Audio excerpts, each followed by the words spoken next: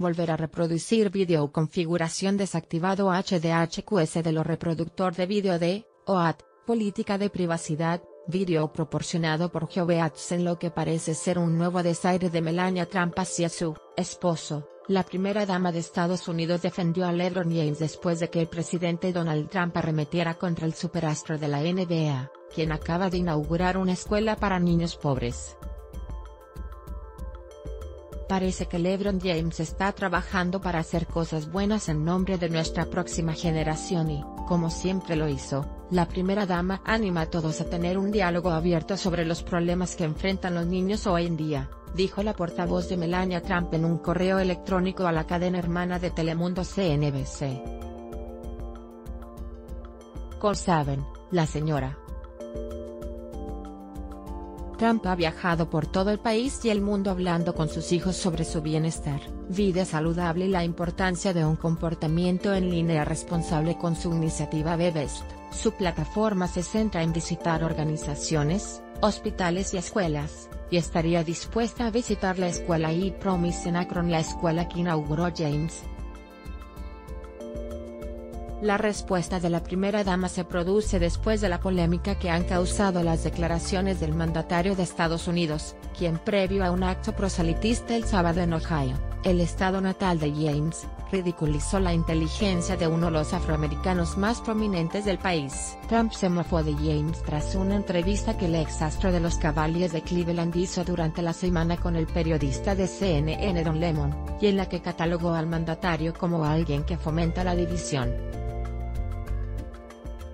El propio periodista Lemon no tardó en reaccionar al tuit del presidente a quien en su cuenta de Twitter posteó, ¿quién es el verdadero estúpido de un mil que pone a niños en escuelas o el que los encierra en jaulas? En referencia a los niños inmigrantes encerrados en centros de detención de Estados Unidos otro de los que salió en defensa de James fue la legendaria estrella de la Liga de Baloncesto NBA Michael Jordan quien en un comunicado dijo apoyo a LJ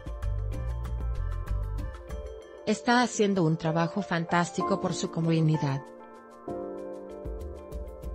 Aunque James ha sido un constante crítico de Trump, tildando al presidente como un zángano en un tuit en 2017, el tuit de la noche del viernes fue el primera embestida del presidente hacia el jugador que inauguró la escuela en su natal ciudad de Akron. En el tuit, Trump dijo que James fue entrevistado por el hombre más tonto de la televisión, Lemon, pero que este logró que LeBron pareciera inteligente, lo que no es fácil. A mí me gusta Mike, dijo el presidente al final del tweet, aparentemente al tomar partido por Michael Jordan en el debate sobre si él o James es el mejor jugador de la NBA de todos los tiempos.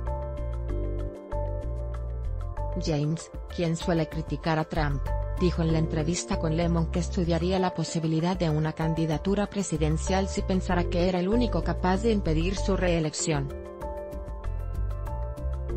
Trump, quien pasará la noche del sábado en un acto electoral con un político de su partido republicano en las afueras de Columbus, fustiga con frecuencia a los medios, a CNN en particular, y rara vez pasa por alto un desaire.